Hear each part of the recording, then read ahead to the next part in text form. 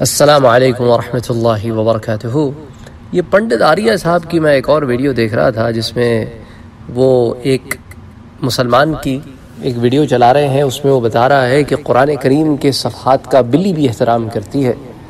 پہلے انہوں نے ویڈیو چلائی اور اس کے بعد اس کو ایکسپلین کرنے کی کوشش کی کہ وہ بسکٹ رکھی ہوئی تھی اور یہ تھا اور وہ تھا۔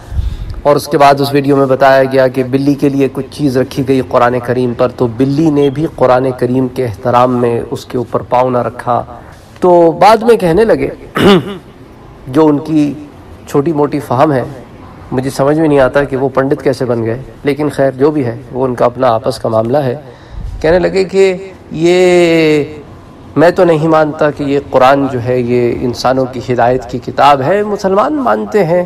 اچھا وہ انسانوں کی ہدایت کی کتاب ہے تو بلی جو ہے اس کی ہدایت کی کتاب تو ہے نہیں۔ تو پھر بلی نے اس کا احترام کیوں کیا؟ بھائی، یہی تو آپ کو سمجھانے کی کوشش کر رہے ہیں پنڈت جی کہ جانوروں کی ہدایت کی کتاب نہیں ہے، اس کے باوجود جانوروں میں بھی اس کا احترام ہے۔ کیونکہ وہ جانتے ہیں کہ اللہ کی کتاب ہے۔ تو پھر آپ تو جانوروں سے بھی گئے گزرے ہیں کہ اللہ کی کتاب پیش کی جاتی ہے اور آپ کے دل میں اس کا احترام ہی نہیں ہے۔ آپ نے خود اپنی زبان سے کہہ دیا کہ بھئی جس کتاب کا جانور بھی احترام کرتے ہوں اور اس کا انسان نہ کریں تو ان انسانوں کو آپ خود ہی بتائیں کیا کہا جائے۔